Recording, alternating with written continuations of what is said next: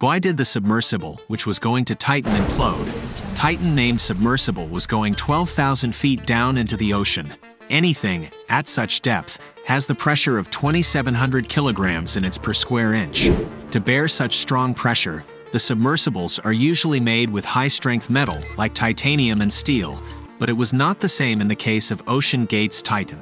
To make it lightweight and cost-effective, it was made with titanium and carbon fiber, which made it comparatively weak.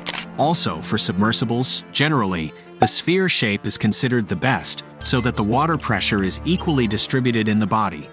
But here Titan was made in a cylindrical shape to fit more people in it and finally, for Titan, Ocean Gate didn't take any safety certification from any reputed marine group. It means it didn't have any safety guarantee under that depth. The cause of the accident given by the scientists was a catastrophic implosion. But what is it? Well, the wreck of the Titanic is located in the depth of 12,500 feet below the sea level, which means it is deeper than the height of five Burj Khalifa buildings. When something collapses on its own due to the pressure of the water in such a deeper ocean, it's called a catastrophic implosion, which looks something like this. Looks scary? Well, according to the experts, this whole incident happened within 20 milliseconds, which means that the people in the submarine would have not even felt it. For more informative videos, please subscribe to our channel and hit the bell icon.